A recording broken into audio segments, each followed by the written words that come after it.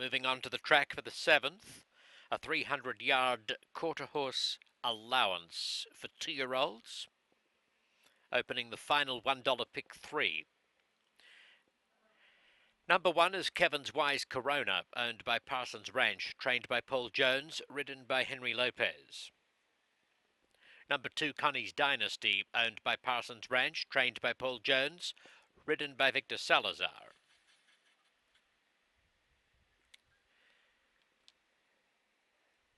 Three, Innocent, raced by Bill Price, trained by Monte Rosa, ridden by Jesus Ayala.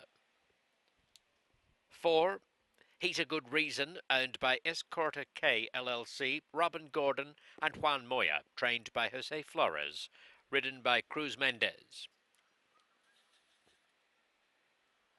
Five, Dynasty, owned by the Parsons Family Limited Partnership, trained by Paul Jones and ridden by Irving Lara.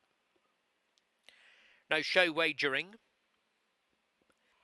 They're ready, racing! And Dynasty has veered very wide. He's a good reason. Connie's Dynasty. Kevin's Wise Corona the inside. Connie's Dynasty in front. From He's a Good Reason, Kevin's Wise Corona. Connie's Dynasty has won from either Kevin's Wise Corona or He's a Good Reason.